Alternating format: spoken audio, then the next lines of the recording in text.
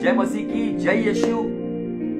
Shalom आज जो विषय परमेश्वर की आत्मा ने मुझे दिया है, हालाँकि इस विषय पर कुछ दिन पहले मुझे ठीक से पता नहीं, क्योंकि इस लॉकडाउन के दरमियान मुझे पता नहीं कि मैं कितनी सारे राज्यों में, कितने सारे पेजेस पर मैं प्रचार कर चुका हूँ।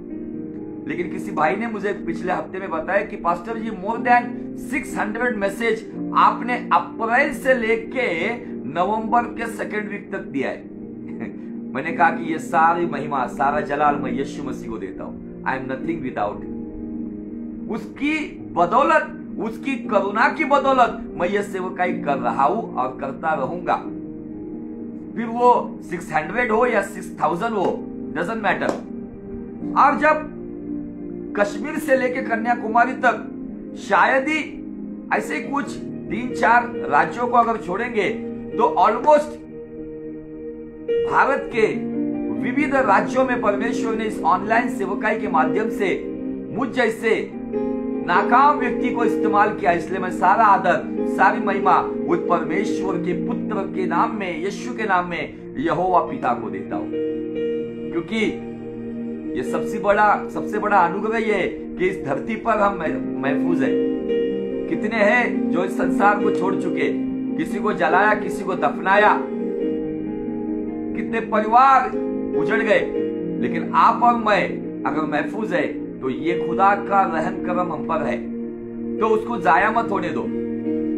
जैसे विवेंद्र पाटिल को के गीत में एक वर्ड है, मुझ पर हुई है कृपा, बेकार ना जाने दो।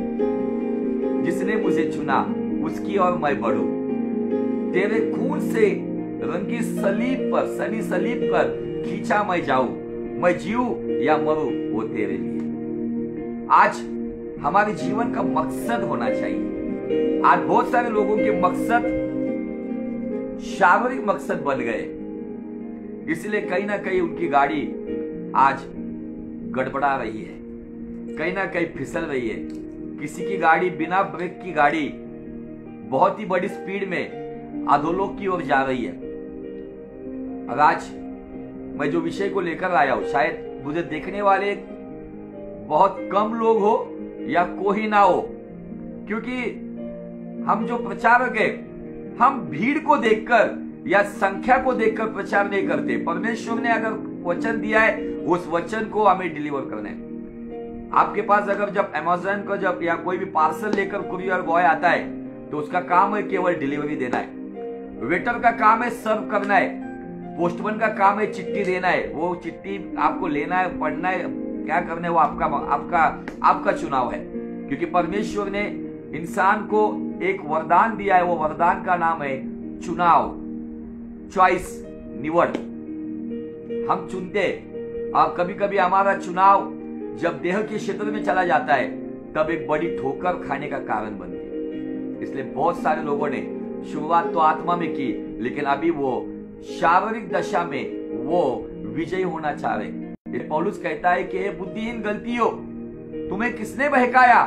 तुमने शुरुआत तो की थी आत्मा में, लेकिन अभी देह में या शरीर में जयवंत होना चाहते हो? राज मेरा जो टॉपिक है, वो ये बात किसी को अच्छी लगती नहीं है। किसी को इस बात के ऊपर मनन करने को अच्छा लगता नहीं। कोई व्यक्ति इस बात को प्यार से लेता नहीं है। कोई व्यक्ति इस बात को हालेलुया, आमेन कहकर लेता नहीं है। आज जो टॉपिक लेकर आया हूँ मैं, इस टॉपिक का जो पहला शब्द है, वो है डांट। दूसरा शब्द है ताड़ना। तीसरा शब्द है उलाहना। और चौथा शब्द है फटकार। और हम लोग इतना मीठा खा खा के सभी जगह पर मोटिवेशनल प्रीचिंग चल रही अच्छी बात है। ब्लेसिंग मैसेजेस चल रहे बहुत अच्छी बात है। प्रॉफिटिक मैसेज चल रहा है। और सारी बात घूम फिर कर इस देह को और किस तरीके से मुझे खुशी मिलेगी, किस तरीके से मैं खुश रहूँगा, यही बातों के लिए मोटिवेशनल प्रचारक लोगों को मोटिवेट कर रहा है। इंस्पायर कर रहा है, उन्हें एनकरेज कर रहा है ब्लेसिंग मैसेज वाले केवल ब्लेसिंग की बात कर रहे कोई पश्चाताप नहीं, कोई उद्धार की बात नहीं, कोई न्याय का संदेश नहीं। सब जगह पर लगातार सबकी गाड़ियाँ एक ही दिशा में जा रही है। लेकिन मुझे आपको बताना है, ये ओवरऑल ये सारी बातें देह के लिए निश्चित लाभदायक है, लेकिन आत्मा के लिए नहीं है। शायद ये प्रचार सुनने के लिए कड़वा होगा, लेकिन जीवन देने वाला होगा। इसलिए मैंने शुरुआत ही की है कि मुझे भले ही ऑनलाइन में एक भी व्यक्ति देखता नहीं होगा, कोई प्रॉब्लम नहीं है। लेकिन मुझे पता है कि अगर खुदावन ने वो वचन भेजा है, अगर इस वचन के द्वारा अगर एक व्यक्ति भी मन फिराता है तो बाइबल का परमेश्वर कहता है, स्वर्ग में स्वर्गदूत बड़ा आनंद करते जब एक पापी अपना मन फिरा कर, एक गहन पश्चाताप के द्वारा अपनी चाल चलन को बदलकर मसीह की चाल पर जब चलता है, तब स्वर्ग में बड़ा आनंद होता है। बड़ी भीड़, बड़ा पंडाल लगाने के द्वारा, हज़ारों लोग जिस सभा में इकट्ठा होते, उस सभा के द्वारा मुझे आपको बताना है कि परमेश्वर खुश नहीं है। इसका मतलब वो चर्च होना नहीं है, मैं उसके खिलाफ नहीं होना चाहिए। लेकिन वो चर्च होना चाहिए जहाँ पर पश्चाताप, जहाँ पे उद्धार, जहाँ पे न्याय के बारे में जिस सर्विस में, जिस सभा में आगाह किया नहीं जाता है, मुझे आपको बताना है, खबरदार हो जाओ, आप कहीं पर गलत जगह पर जा रहे हो। आपको, आज मुझे आपको बताना है, जो चार शब्द मैंने बताए, नंबर एक, डांट, नंबर तीन, नंबर दो, ताड़ना, नंबर तीन, उलाहना, और नंबर चार, फटकार। मैं अगर पूछूँगा, किसी को डांट चाहिए क्या? किसी को ताड़ना चाहिए क्या? सब लोग कान बंद कर लेंगे, मोबाइल हाथ में लेंगे या इस लाइव सेशन से चले जाएँगे। आज कोई नहीं चाहता है कि मुझे डांट लो।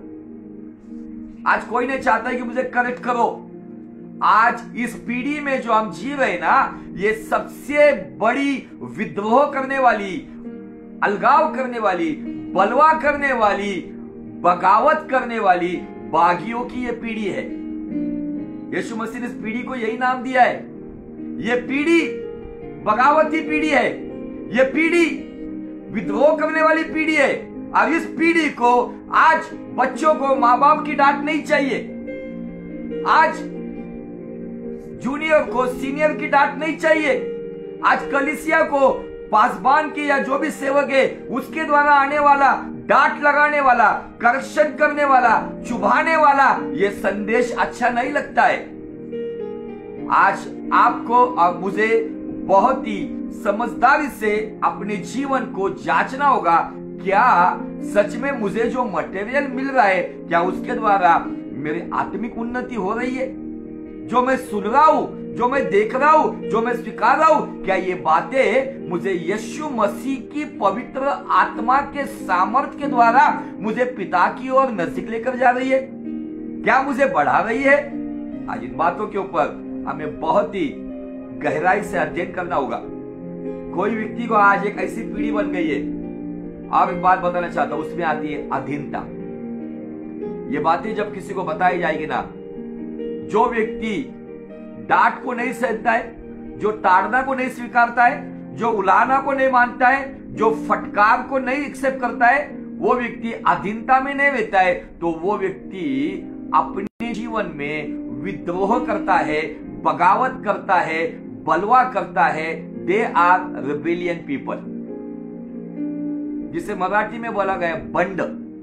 आज हम देखते हैं कि बहुत सारे पक्ष के अंदर, पार्टियों के अंदर, जब कोई एक व्यक्ति एक विशेष पार्टी का होता है, लेकिन जब दूसरी कोई पार्टी उसको प्रलोभन देती है तो वो अपनी पार्टी के साथ गद्दारी करते हुए, विद्रोह करते हुए, उस पार्टी को छोड़कर दूसरी पार्टी को भी चला जाता है, जहाँ पे मराठी में कहा जाता है, बंडखोर उम्मीदवार। शायद वो अपने व्यक्तिगत बलबूते पे खड़ा होने की कोशिश करता है। लेकिन आज मुझे जो बात बतानी है कि अगर आपके जीवन में अगर आपको कोई डांटने वाला नहीं है आपके जीवन में अगर आपको कोई करेक्ट करने वाला, अगर करेक्शन करने वाला, आपके जीवन में आपका कान पकड़ने वाला अगर कोई नहीं है ना तो आपके जीवन में आप एक अभाग्य व्यक्तिमत्व हो। लेकिन धन्य वे लोग, जिनका कान खींचने के बाद जो कान खींचने देते हैं और उस करेक्शन को एक्सेप्ट करते हुए परमेश्वर की राह पर चलते हैं। धन्य वे बच्चे जो अपनी माँ बाप की डांट प्यार समझ के लेते, क्योंकि बाइबल का परमेश्वर नीति वचन सत्ताईस पाँच में कहता है, खुली डांट गुप्त प्रेम से उत्तम होती है। लेकिन आज nobody want correction nobody want correction everybody want encouragement motivation यही बातें चाहिए हर को। हमारी गलती कोई दिखाना नहीं चाहिए। हमारी गलती पे कोई उंगली रखना नहीं चाहिए। हमें केवल आप मोटिवेट करो एनकरेज करो, हमको बढ़ावा दे दो, हमारी गलतियों पे पर्दा डालो, हम भले बुरे तो भी कहो दुनिया में यू आर अनॉइंटेड आज की ये बड़ी बीमारी मसीहत में साधारण विश्वासी से लेके, चर्च के लीडर से लेके वर्शिप करने वाली वर्शिप टीम से लेके असिस्टेंट पास्टर से लेके पास्टर तक, आज ये बीमारी लगी हुई है मसीहत में। ये बीमारी जिन्हें डांट की दवाई अच्छी नहीं लगती है, ये बीमारी जो उलाना का इंजेक्शन नहीं लेता है, ये बीमारी वहाँ पे ताड़ना का सलाइन वाटर भी नहीं लेता है। आज ये बीमारी मसीहत को बड़े पैमाने में लगी हुई है, इसीलिए आज जगह जगह पर राज्य राज्य में देश देश में बगावत करने वाले बागियों की एक बड़ी संख्या सब जगह पर दिखती है। परिवार में आज बगावत हो रही है। परिवार अलग हो रहे ज्वाइंट फैमिली में रहने वाले आज एक दूसरे की अधीनता में ना रहने की वजह से अपना अधिकार प्राप्त करने के लिए वो परिवार से अलग हो जाते परिवार के अंदर दीवार चुनवा देते कहीं पर भी जाओ नौकरी छोड़ दिया, क्यों छोड़ दिया? मेरा बॉस मुझे वोट डांटता है, मेरा बॉस मेरी गलतियाँ दिखाता है, मेरा बॉस मुझे ये करता है, वो करता है। इसीलिए मैंने नौकरी को रिजाइन कर दिया, राजीनामा दे दिया। आज मुझे आपको बताना है, आप अगर विश्वासी हो, मसीह हो, एक सच्चे मसीह हो तो बाइबल का परमेश्वर पहला पत्रस का दूसरा अध्याय में, अगर हम गौर से वहाँ पे पढ़ेंगे तो वहाँ पे दिया है कि आपके जो अधिकारी भले वो कर्मी क्यों ना हो उनकी अधीनता में रहो। आज अधीनता के बारे में कोई सुनना नहीं चाहता, डांट कोई सुनना नहीं चाहता, ताड़ना कोई लेना नहीं चाहता उलाना कोई स्वीकारना नहीं चाहता, फटकार कोई मानता नहीं है। इसीलिए आज मसीहत में एक बड़ी भीड़ हमें दिखती है। अब वो भीड़ ऑनलाइन में भी आ गई है।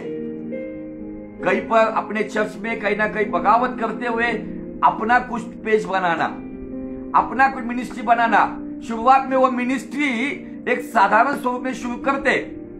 ये थोड़ा सा पॉपुलरिटी जब मिल जाती है, जब उनको शोहरत मिलती है, जब बढ़ते हैं ना तो ये लोकल में काम करने वाले इंटरनेशनल बन जाते। जिन्होंने कभी एक आत्मा को जीता नहीं होता है, जिन्होंने किसी को एक समाचार सुनाई नहीं होता है, जिनके पास कोई भेड़शाला मतलब कोई चर्च नहीं होता है, जिनके पास अपनी कोई भेड़ नहीं होती है, वो गिटार लेके पास्टर बन जाते। ये सुनने के लिए बहुत कड़वी बात है।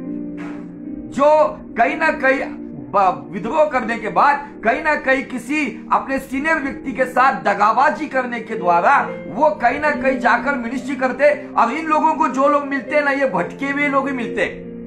ये विद्रोह करने वाले लोग ही मिलते। और जब ये इकट्ठा बन जाते, तब इनका एक ग्रुप बन जाता है। और आज मुझे आपको बताना मैं सभी को नहीं बोल रहा हूँ, लेकिन आज ऑनलाइन में मैं कुछ लोगों को भी देख रहा हूँ कि जिन्होंने कुछ पेज को बनाया।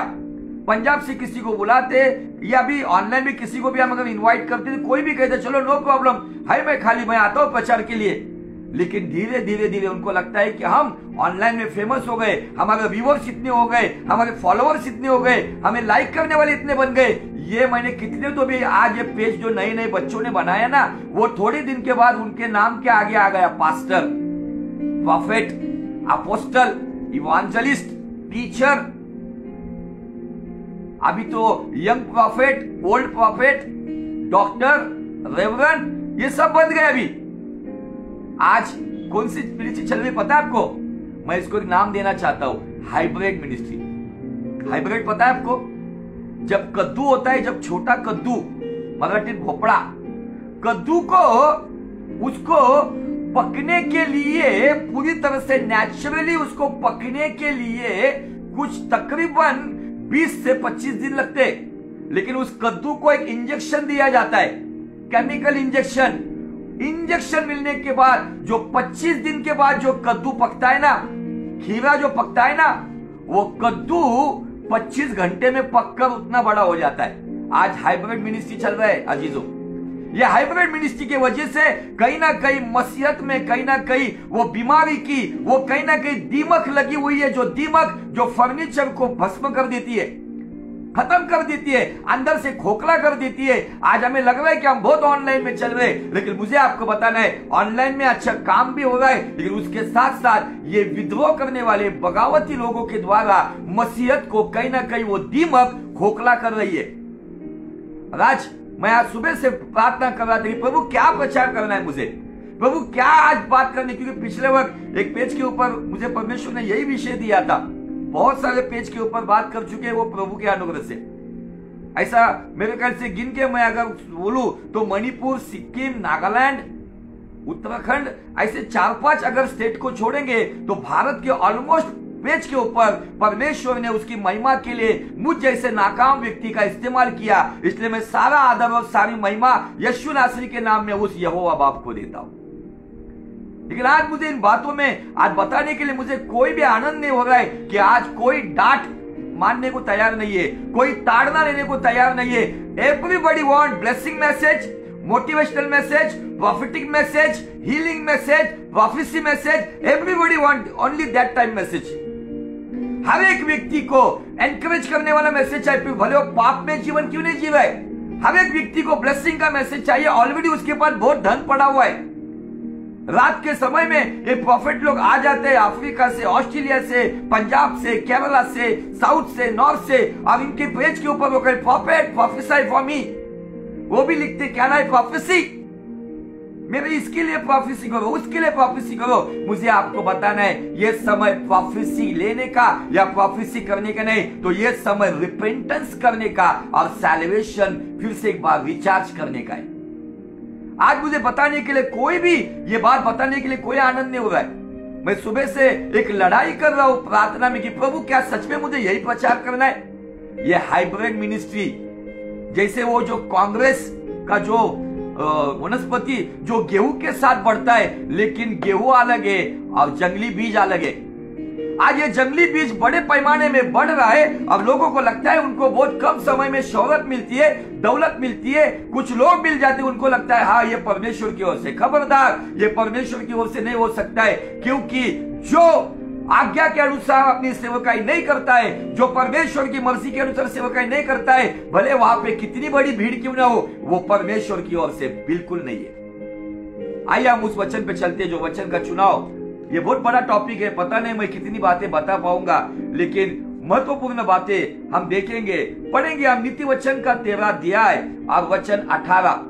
नीति सूत्र तेरह अठारह proverbs chapter thirteen and verse eighteen जो शिक्षा को सुनी, अनसुनी करता, वह निर्धन होता और अपमान पाता है।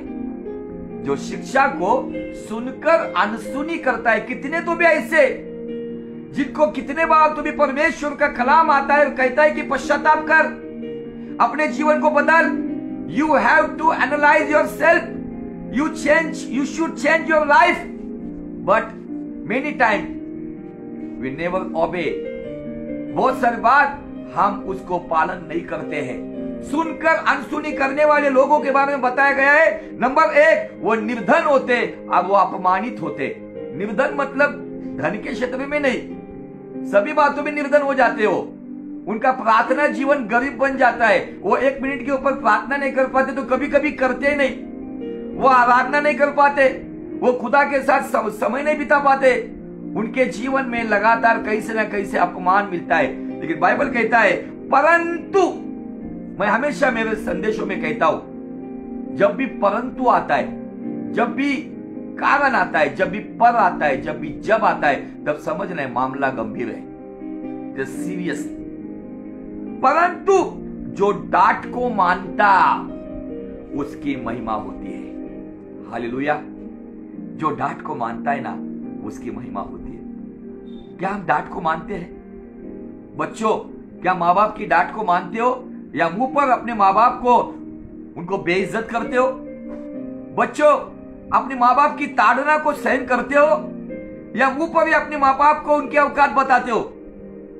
मुझे बाइबल का परमेश्वर कहता है कि जो डांट को मानता है ना, वो महिमा को प्राप्त करता है। अगर आपको महिमा चाहिए if you want glory of God we should obey our parents we should obey the word of God we should obey our senior people हमारे वरिष्ठ लोगों की डांट हमें सुननी होगी। अरे आप आशीषित लोग हैं। डांट उन्हें मिलती है जिनका कोई है। डांट उन्हें नहीं मिलती है जो लावारिस है। अरे आज कितने तो भी ऐसे जिनको माँ बाप नहीं है। जितने तो भी ऐसे हैं जिनको प्रॉपर गाइड करने वाले नहीं है। इसलिए वो भटक गए थे। उसमें से मैं भी एक व्यक्ति था।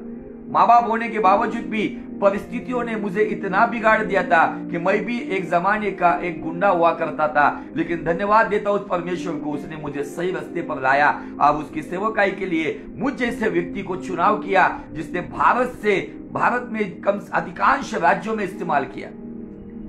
अगर मेरे जैसे व्यक्ति को अगर परमेश्वर इस्तेमाल कर सकता है तो निश्चय मैं आपको, यहाँ पर इस बात में आपको मैं इंकरेज करना चाहता हूँ, खुदावन आपको भी बड़ी पैमाने में इस्तेमाल करेगा। लेकिन आज उसके लिए ज़रूरी क्या है? महिमा उसकी होती है जो डांट को मानता है। क्या आप डांट को मानते हो? क्या आप डांट को सुनते हो? बाइबल स्पष्ट रीति से कहता है नीति वचन सत्ताईस पाँच, गुप्त प्रेम से खुली डांट बेहतर है। उत्तम है। लेकिन आज मुझे आपको कई बताना है, कुछ पेरेंट्स, कुछ माँ बाप अपने बच्चों का बेफुजल लाड़ प्यार करने के वजह से उनके बच्चे उनके सामने ही बिगड़ जाते हैं। उनके सामने उनका अपमान, उनका इंसल्ट करते हुए उनको छोड़कर चले जाते। क्यों? में एक ऐसा बाप है, जिसका नाम है एली। बाइबल का परमेश्वर कहता है, पहला शामुएल का, अगर हम दूसरा अध्याय का बारह वचन पढ़ेंगे, वहाँ पे एली के पुत्र के बारे में बताया गया कि वो लुच्छे थे। उनकी पहचान बताई गई, वो लुच्चे थे। उनकी पहचान ये थी, वो यहोवा को नहीं जानते थे। अब उनकी पहचान ये थी कि वो कुकर्मी थे, जो मेल मिलाप वाले तंबू के पास जो स्त्रियाँ इबादत करती थी, उन स्त्रियों के साथ ये फिनास और हाफनी नाम के एली के बच्चे उनके साथ कुकर्म करते थे। आज मसीहत में, कहीं ना कहीं चर्चेस में मिनिस्ट्री में आज भी ये लुच्ची गिरी और कहीं ना कहीं ये कुकर्म चल रहा है। उसका कारण, उसका एक में वो कारण है कि जो माँ बाप है, जिन्होंने सही समय पर डांट नहीं लगाई। ये ये ली, उसके दूसरे अध्याय में तेईस वचन से वो डांट लगाता है, लेकिन डांट लगाने का समय खत्म हुआ था। समय खत्म हुआ था। जब एक अननोन पर्सन परमेश्वर के पास से आता है, जो अननोन प्रॉफिट है, जो एली को कहता है कि, एली, तूने मुझसे अधिक अपने बच्चों का आदर किया है। और परमेश्वर यहोवा कहता है, जो मेरा आदर करेगा, मैं उसका आदर करूँगा। आज आपके बच्चे छोटे हैं, यही समय में थोड़ा दिल पे पत्थर रखते हो अगर जो गलती करते ना, गलती पर उंगली करो क्योंकि बाइबल हमें लाठी उठाने की परमिशन देता है। अगर वो लाठी हम उठाते नहीं है सही समय पर तो हम उसको एक ऐसे समय पर अधोलोक में जाने के लिए रास्ता खोल देते बाइबल हमें अनुमति देती है पनिशमेंट करने की, शिक्षा देने की, ताड़ना करने की, डांट लगाने की उलाना करने की। लेकिन आज किसी को यह बात अच्छी लगती नहीं है। Everybody want blessing message encourage message motivational message prophetic message अब आप अमेन हालेलुया करते, लेकिन अपने घरों में, अपने परिवारों के साथ, जिनके रिश्ते, जिनके तालुका ठीक नहीं है, वे लोग प्रॉफिटिक मैसेज को अमेन हालेलुया करते हैं। आज ये मसीहत को फिर से एक बार कहना चाहता हूँ, ये मसीहत के फर्नीचर को लगी हुई दीमक है, जो मसीहत को अंदर से खोखला कर रही है। आज बड़े पैमाने पर आज ये सब बातें, आज हम देखते हैं कि वहाँ पे बड़ी तादाद में लोग जा रहे लेकिन धन्य वे लोग कि जो आज भी अपने परिवार के साथ वफादार है, अपने चर्च के साथ वफादार है, अपने वरिष्ठ सेवक के साथ वफादार है। वही लोग आशीष को पाएँगे। बाइबल कहता है और वचन पढ़ेंगे, हम नीति वचन का पंद्रह अध्याय एक्चुअली बहुत बड़ा टॉपिक है, लेकिन मैं पूरा नहीं कर पाऊँगा, लेकिन जितनी बातें मैं बताऊँगा, मैं चाहता हूँ कि अज़ीज़ आप उसको ग्रहण करो। पंद्रह अध्याय, और वचन दस। नीति वचन पंद्रह दस। जो मार्ग को छोड़ देता, उसको बड़ी ताड़ना मिलती है। जो मार्ग को छोड़ देता है, उसको बड़ी ताड़ना मिलती है। और जो डांट से बैर रखता है, जो डांट से दुश्मनी रखता है, वो अवश्य मर जाता है। अभी कुछ लोग ऐसे हैं जो डांट से भय रखते हैं। और कुछ लोग ऐसे हैं जो डांट को कुछ महत्व नहीं देते। जो नीति वचन उन्तीस एक में दिया है, जो बार बार डांट जाने पर भी हट करते, जो हटीले होते एरोगेंट होते, जो उस क्षेत्र में हटी बार बार डांटने के बाद भी वही गलती करेंगे।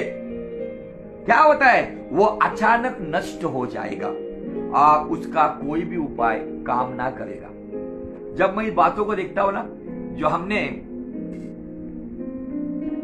नीति वचन पंद्रह दस और नीति वचन उन्तीस एक। उन्तीस एक में जब पढ़ता हूँ ना तो मेरे सामने एक इसराइल का पहला राजा आता है, जिसका नाम है शाउल शाउल को शामुएल ने आके कितने बार डांट लगाई, लेकिन डांट को सुनकर उसने अनसुना किया। अंतिम उपाय उसने किया वो जादू टोना करने वाली, उस सौसर को, चेटकिन के पास गया, लेकिन उसका कोई उपाय नहीं हुआ। उसको एक शापित मौत मिली। शाउल मर गया, लेकिन जब मैं डांट को ग्रहण करने वाला व्यक्ति, ताड़ना को स्वीकारने वाला व्यक्ति, वो जब स्वीकारता है तो बाइबल कहता है कि परमेश्वर उसकी महिमा करता है वो है दाऊद। जब दाऊद के हाथ से गलती हो गई, दाऊद ने उरिया हित्ती को जंग में मार दिया, उसकी बीवी को अपनी बीवी बना लिया, उसके साथ कुकर्म किया। उसके बाद, उसके जमाने में जो नबी था, जिसका नाम था नाथान। नाथान प्रॉफिट नाथान जैसे लोग आज दिखते नहीं है। आज चिकनी चुपड़ी बातें पापियों को प्रॉफिट बताते। अधर्मी को मोटिवेशनल बातें प्रॉफिट्स बताते। लेकिन स्पिरिट ऑफ़ नाथान नाम के प्रॉफिटिक मिनिस्ट्री के प्रॉफिट आज की दुनिया में बहुत ही कम है। अब ऐसे लोगों को कोई पॉपुलर नहीं करता है। ऐसे लोगों को कोई महत्व नहीं देता है। ये लोग किसी कोने में पड़े रहते हैं लेकिन वो कोने में भी वो परमेश्वर को अपने जीवन से ऊँचा उठाते नाथान नबी जब दाऊद के पास आता है और एक शब्द बोलता है, मैं पूरा नहीं पढ़ूँगा, लेकिन एक शब्द जब बोलता है ना, मुझे वो शब्द बहुत अच्छा लगता है। वो बातें हमें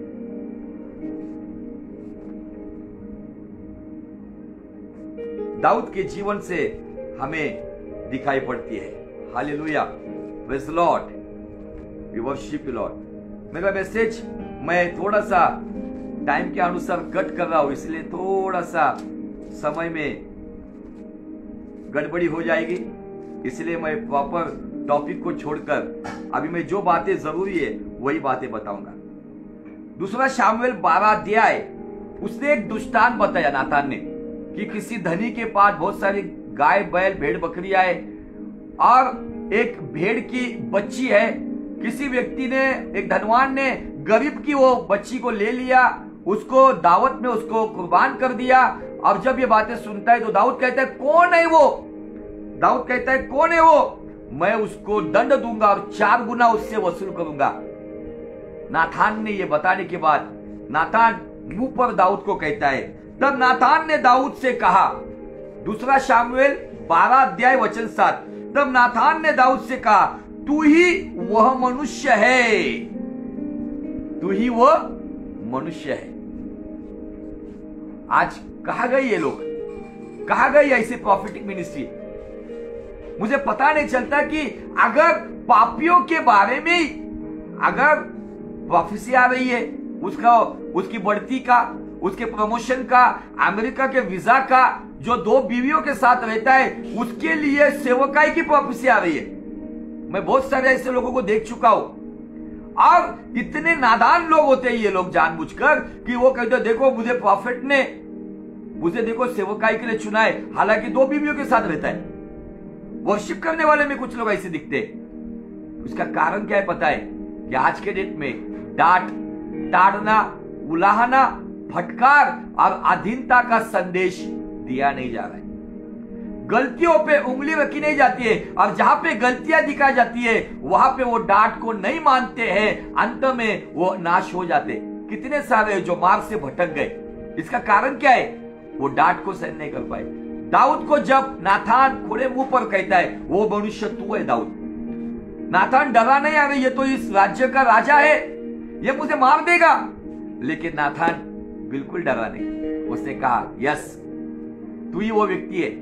आज मुझे समझ भी नहीं आता है कि सभी प्रॉफिट्स को, सभी लोगों को, लोगों की अच्छी अच्छी बातें ही दिख रही है। उनको इज़्ज़त ये मिलेगा, ज़मीन जायदाद मिलेगी, बीवी ऐसी मिलेगी, घर ऐसा मिलेगा, सेवका ऐसी मिलेगी। क्या गलतियाँ नहीं दिखाता है क्या परमेश्वर? यहोशफाट और अहाब राजा के जमाने में सिद्दीकिया के साथ 400 नबी थे, जो एक ही भविष्यवाणी कर रहे थे। राजा के सामने राजा को खुश करने वाली भविष्यवाणियाँ कर रहे थे। लेकिन एक व्यक्ति था जिसका नाम था मिखा, इमला का पुत्र मिखा। उसने दुख की रोटी और दुख का पानी उसने स्वीकारा, लेकिन उसने सच्ची बात बताई उसे आहाब की मृत्यु बताई उसे आहाब की गलती बताई, और ये सब बातों में समीखा को कुछ दिन के लिए जेल में जाना पड़ा। इर्मया जिसने युहाकिन राजा को क्लियर कट बताया ये बात होने वाली है उसको भी जेल जाना पड़ा। अच्छे कामों के लिए जेल जाना पड़ा। तकलीफ़ उठानी पड़ी। आज कोई नहीं चाहता है कि मुझे कोई डांटे। पाँच साल का बच्चा भी चाहता है माँ बाप मुझे नहीं चाह, मुझे बात नहीं सुननी है। मुझे ये करेक्शन नहीं चाहिए। मैं जानता हूँ, मेरा सब कुछ क्या करना है मुझे। और यही लोग आगे जाके कहीं ना कहीं बिगड़ जाते और अपना जीवन नाश कर धन्य वे लोग। मैं लास्ट पॉइंट पर आता हूँ। मैं बहुत सारे बातें बतानी थी। लेकिन पता नहीं कि ग्राउंड लेवल तैयार करते करते समय आगे चला जाता है। डांट क्यों चाहिए हमें? अब ये डांट क्या करती है? तीन प्रकार की ब्लेसिंग लेकर आती है। ये तीन प्रकार की ब्लेसिंग क्या है? उसके लिए हमें चलना होगा। नए नियम में। उसके पहले मैं आपको बाइबल का कंसेप्ट क्लियर करना चाहता हूँ, जो दो तिमोती तीसरा अध्याय वचन सोलह में। कभी कभी हम लोग ऐसी डांट वाले मैसेज देते हैं ना कुछ लोग मत्तई का सातवां अध्याय एक वचन हमारे माथे पे चिपका देते और कहते दोष मत निकालो। लेकिन उनको, मुझे ऐसा लगता है कि उन्होंने मत्तई, मार्क, लूक, योहन्ना, उसके आगे उन्होंने बाइबल पढ़ी नहीं है, इसीलिए उनको यह समझता नहीं है। अगर आप बाइबल का फंडामेंटल टीचिंग को अगर आप देखोगे, जो चार बातों में मार्गदर्शन करता है, फंडामेंटल टीचिंग मूलभूत सिद्धांत, मूलभूत नींव क्या है? जो दो तिमती तीन सोलह में दिया है। और बाइबल कहती है वहाँ पे, संपूर्ण पवित्र शास्त्र परमेश्वर की प्रेरणा से रचा गया है।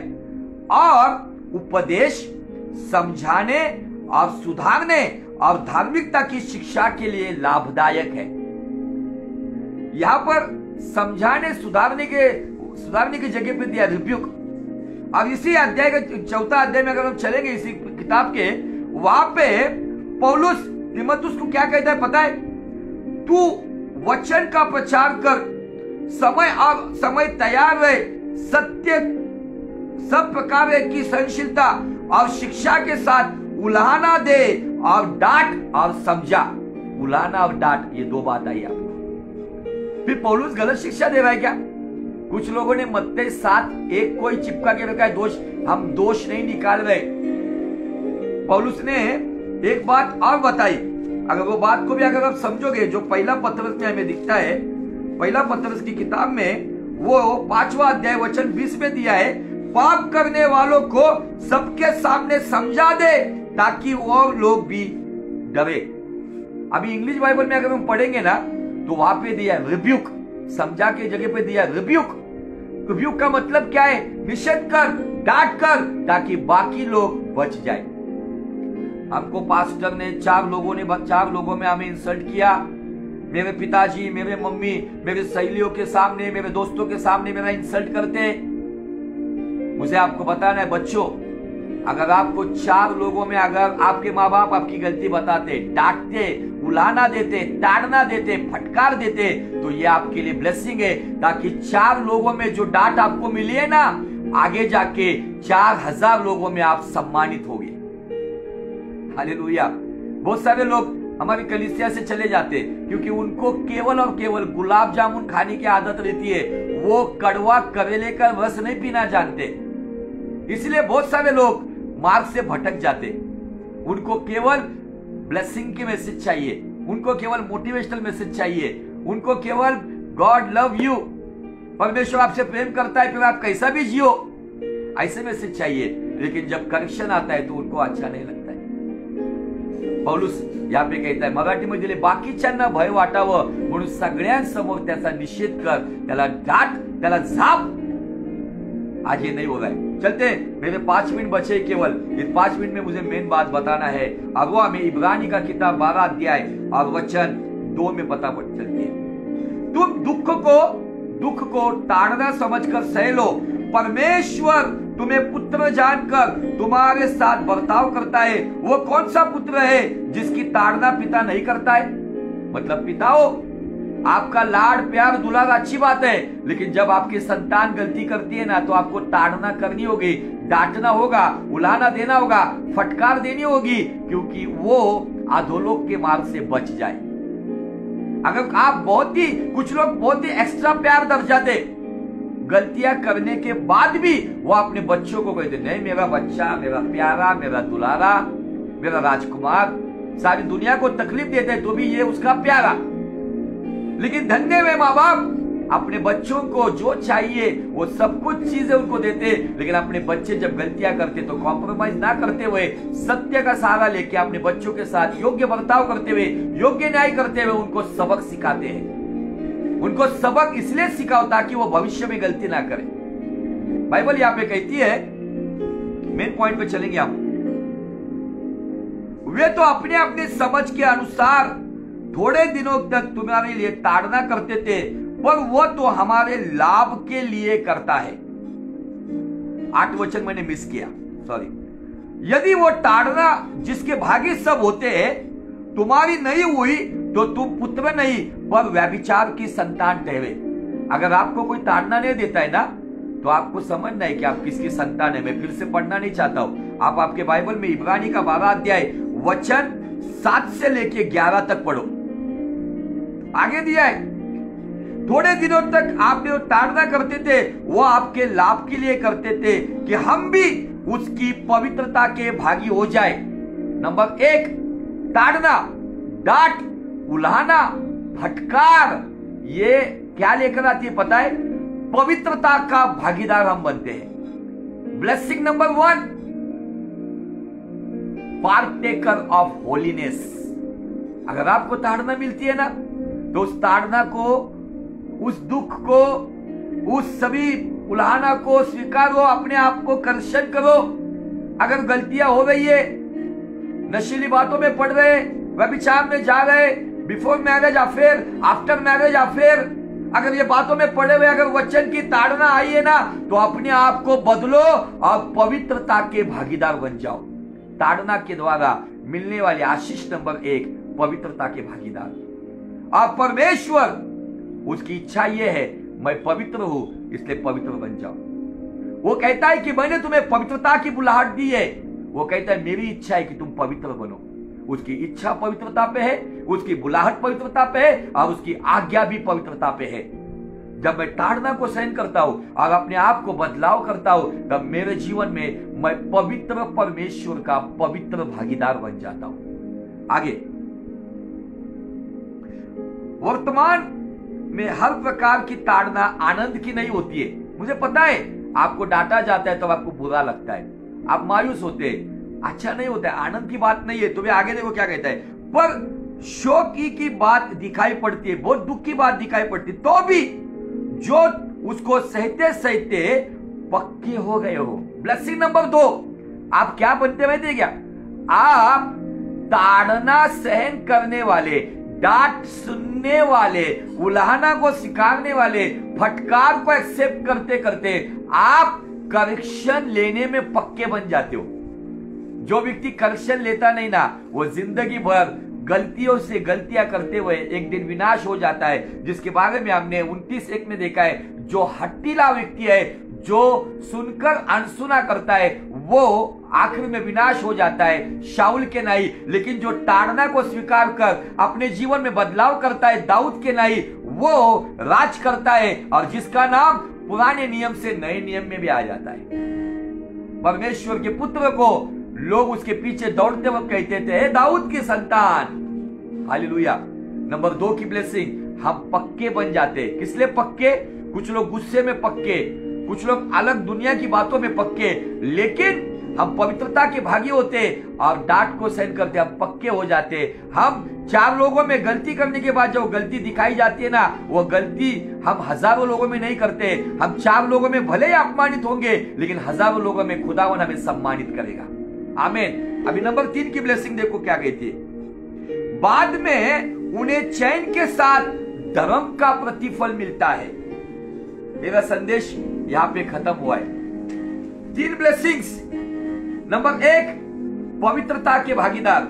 नंबर दो, पक्के बनते डांट सुनने में करेक्शन लेने में, ताड़ना को सहन करने में उलाना को लेने में पक्के बन जाते। और तीसरी blessing is most beautiful blessing धर्म का प्रतिफल फ्रूट ऑफ़ राइचियसनेस जिसके पास ये फ्रूट ऑफ़ राइचियसनेस नहीं है, लेकिन दुनिया भर के सारे वरदान है। शायद आप अच्छे बजाने वाले होंगे, शायद आप बहुत पावरफुल प्रार्थना करने वाले होंगे, शायद आपने मुर्दा भी उठाया होगा, आपके द्वारा कैंसर भी ठीक हुआ होगा, लेकिन आप अगर किसी को अकाउंटेबल नहीं है, अगर किसी की अधीनता में नहीं है, आप अगर डांट सुनते नहीं है, आप ताड़ना को लेते नहीं है, आप बलवा करते हो, अगर आप आपके जीवन से विद्रोह करते हो, बगावत करते हो, बागी बनते हो रिबेलियन बनते हो तो आपके जीवन में शायद दुनिया की दौलत शोहरत आएगी। लेकिन धर्म का प्रतिफल this is one of the best blessing for heaven स्वर्ग में जाने के लिए सबसे बड़ा प्रतिफल है ये। धर्म का प्रतिफल। फ्रूट ऑफ़ राइचियसनेस और राइचियसनेस जिसके अंदर है, वो राइचियस बनता है। और यीशु मसीह किसके लिए आना है पता है? पहला पुनरुत्थान किसका होगा पता है आपको? पहला पुनरुत्थान धर्म, धर्मी लोगों का होगा जिनके अंदर वो धर्म है। मैं मसीह धर्म की बात नहीं कर रहा हूँ राइचियसनेस की बात कर रहा हूँ। नीतिमत्व जो नीतिमान बनोतर यीशु मसीह उन्हीं को लेकर जाएगा जो ताड़ना, डांट, उलाहना, फटकार सहन करते हुए जो खुदा की अधीनता में, परिवार की अधीनता में, अपने अगुओं की अधीनता में जो जीवन जीते हैं, उन्हें धर्म का प्रतिफल मिलता है। फिर भले वो ज़िंदा हो या कब्रस्तान में हो, जब धर्मी राजा आएगा, मध्य आकाश में जिनके पास धर्म का प्रतिफल है, जो कब्रस्तान में होंगे, वो पहले उठा लिए जाएँगे। जो ज़िंदा है, वो महिमा के शरीर को लेकर चलेंगे। आमेन। यह है फ़ायदा। शायद किसी का हाथ रखने के द्वारा वो अभिषेक मिलेगा। आप कैंसर को ठीक करोगे, लेकिन किसी की डांट सुनने के द्वारा, किसी सेवक का फटकार सुनने के द्वारा, ताड़ना को स्वीकारने के द्वारा माँ बाप की डांट सुनने के द्वारा आप परमेश्वर की राह पर पवित्रता के भागी होंगे। और पवित्रता के भागी होते हुए आप पक्के जीवन में पक्के बन जाओगे। और आपके पास धर्म का प्रतिफल रहेगा। यही प्रतिफल परमेश्वर के राज्य में आपको मुर्दा हालात में या ज़िंदा हालात में ज़रूर और ज़रूर लेके जाएगा। आमीन। क्या चाहिए? हालेलुया। मेरा टाइम खत्म हुआ। बहुत सारी बातें बतानी थी मुझे, लेकिन पता नहीं, मेरे पास अगर कुछ नहीं है अब कौन सी चीज़ अगर जल्दी खत्म होती तो वो है वक्त। क्योंकि वक्त मुझे ऐसा लगता है कि ये घड़ी है ना, शायद मेरे साथ कुछ शत्रु है वही मेरे, या मेरी दुश्मनी है उसके साथ। ये बहुत ज़ोर से दौड़ती है और बहुत जल्दी टाइम खत्म हो जाता है।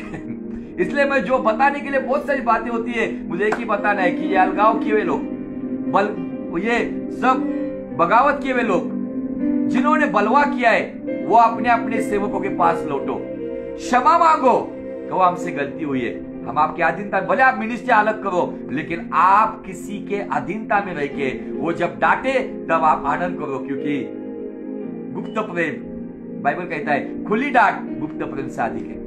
जो डाक को सुनता है, बाइबल कहता है, उसकी महिमा होती है। अगर महिमा चाहिए, और मैं आपको बताना चाहता हूँ कि ये बातें बहुत ज़रूरी है। मैंने बहुत सारे लोगों को सेवकाई में देखा है, मेरे साथ में देखा है। थोड़ा बहुत कुछ मिल गया तो वो फ़ेमस हो गए, वो चले गए, लेकिन आज वो कहीं पर भी नहीं है। आज उनके हालात बहुत बुरी है। जिन्होंने करेक्शन लिया नहीं, जिन्होंने ताड़ना ली नहीं, आज उन्होंने अपनी मनमानी करने की वजह से आज वो नाकामयाबी का मार्ग में चल रहे, वो कहीं पर भी कामयाब नहीं, वो आज कहीं ना कहीं फेल हो गए। क्यों? क्योंकि जो डांट कर देता है ना, वही तुम्हारा बाप होता है। जो तुम्हारी गलतियों को दिखाता है ना, वही तुम्हारा व्यक्ति होता है जो तुम्हें सही रास्ते पे लेके आता है। लेकिन आज मसीहत में, परिवारों में ये बात है। बच्चे इंटरकास्ट कर रहे और कहा जाता है हमने आत्मा को जीता है। बकवास है ये। ये आत्मा को जीतने वाली बात नहीं है। आत्माओं को सुसमाचार से जीता जाता है। शादी करके नहीं जीता जाता है। आज ये लोग कहीं ना कहीं गलतियाँ करे लेकिन आज समय अभी भी गया नहीं है। समय हमारे हाथ में। डांट के द्वारा, ताड़ना के द्वारा, जो तीन ब्लेसिंग है, होलीनेस, जिसके हम भागीदार बनते पक्के बनते हम सही करने के लिए। हम पप्पा मम्मी को कहेंगे, सुनाओ, हमारे लिए अच्छी बात है। बताओ, मैं तो चाहता हूँ कि मेरी गलती कोई दिखाए।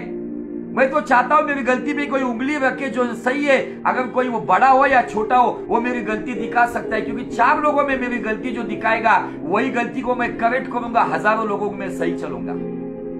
हालेलुया प्रभु कभी इस वचन के द्वारा आपको बहुत बहुत आशीष मिले। अगर इस वचन के द्वारा खुदावन ने आपको आशीषित किया है तो इस वचन को ज़्यादा से ज़्यादा फैलाओ, ताकि आपके जीवन में परमेश्वर की महिमा होती रहे। आप पवित्रता के भागीदार बन जाओ, आप पक्के बन जाओ, और धर्म का प्रतिफल फ्रूट ऑफ़ राइचियसनेस आपके जीवन में बना रहे यीशु के आने तक। May God bless you may God bless you